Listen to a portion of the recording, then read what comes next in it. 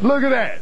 I'm provoking that, huh? That I'm making motherfuckers just hate God more. I'm provoking that, huh? you goddamn devil worshiper, you ain't got no excuse. Motherfucker, you ain't you ain't coming in no you come in the name of Satan. I guess if you like a house nigga and want go competitive, if I say I'm God, then I guess you have to take the side of Satan, huh, motherfucker? Stupid bitch. Not of it's not of competition, it's of cooperation. Stupid ass house nigga. I can't see you though, bitch. You see me? I'm all out. I'm all out. I make my ass very available.